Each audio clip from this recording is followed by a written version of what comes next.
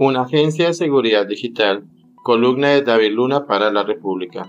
Colombia está perdiendo la lucha contra el cibercrimen. En América Latina ocupa el segundo lugar con más intentos de ciberataque registrados. Solo en 2022 recibió 20 mil millones, un aumento de 80% en comparación con el año 2021.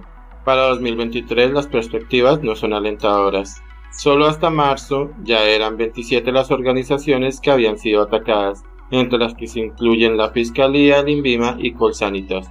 Es hora de tomar medidas. Colombia ha implementado acciones con el fin de reconocer a la seguridad digital como un elemento clave para garantizar la defensa nacional. A través de distintos COMPES se estableció institucionalidad por medio de entidades responsables de la investigación y reacción de ataques cibernéticos, el COLCERT, el Comando Conjunto Cibernético y el Centro Cibernético Popular, los cuales han sido fundamentales para combatir el cibercrimen.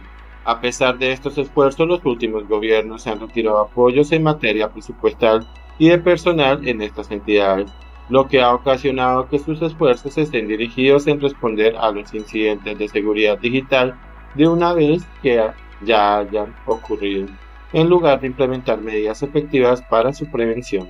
Desde principio de año hemos conversado con instancias encargadas de la ciberdefensa del Estado, con el sector privado y con ciudadanos para entender las falencias del país en la materia. La conclusión principal de estos espacios es la urgencia de que se tomen medidas ante el poco presupuesto a estas entidades y que se brinden soluciones para fortalecer la coordinación entre ellas.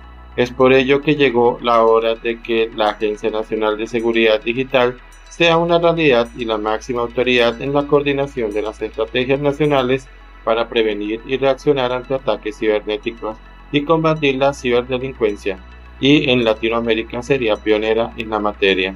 Este gobierno pretendía su creación a través del PNE, espacio que manifestamos no era el adecuado pues habría brindado facultades extraordinarias al presidente para su creación algo que puede ser sumamente peligroso en la protección de los datos personales de los ciudadanos en el ciberespacio.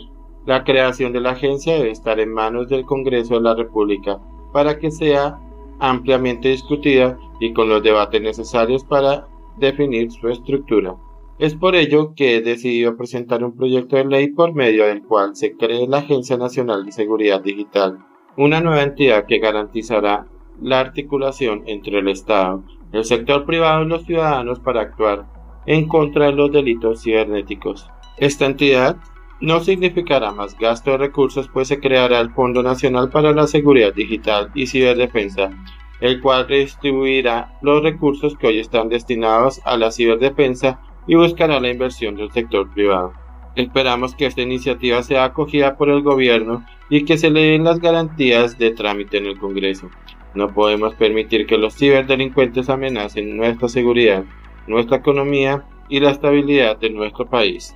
La Agencia Nacional de Seguridad Digital es el primer paso para combatir este enemigo que cada día gana más fuerza.